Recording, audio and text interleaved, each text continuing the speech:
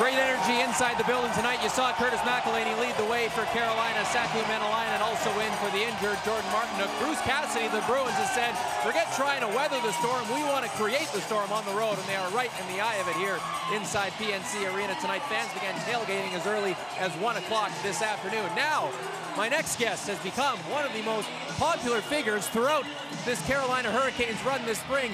Hamilton the Pig, the Juliana miniature potbelly, but around here the breed is simply known as playoff pig. Now Hamilton, your Instagram post today said that the time is now, and you are absolutely right as they need a win here tonight to avoid going down 3-0. You know, Rod Brind'Amour was saying that in game two, perhaps there was a little mental fatigue. They've been in playoff mode for crying out loud since January the 1st, so perhaps the energy inside the building here tonight, and of course your good luck.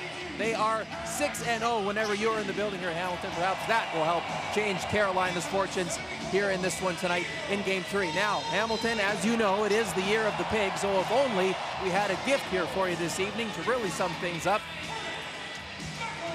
And we do. We can get this on.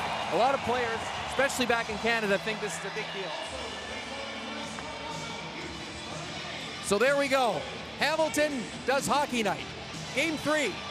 That'll do, Hamilton. That'll do.